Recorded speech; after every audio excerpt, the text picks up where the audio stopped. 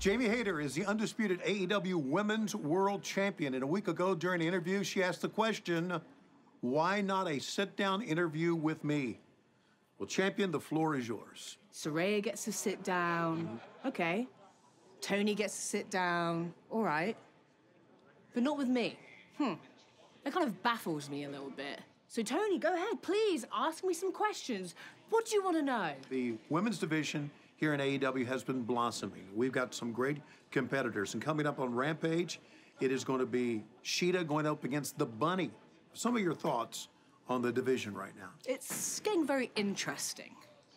But unfortunately for everybody else, I'm on top of the totem pole in this division.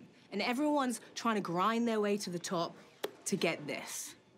And I'm going to do my duty as a champion mm-hmm. to be reigning and defending.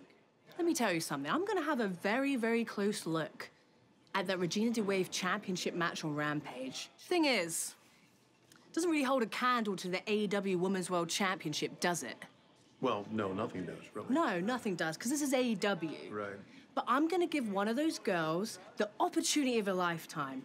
Whoever wins that match, they get to wrestle me for the AEW Women's World Championship, if they dare. Fighting champion. Yes, you're All correct. Right. Fighting champion, mm-hmm. and a bloody good one at that. The undisputed AEW Women's World Champion, Jamie Hayter.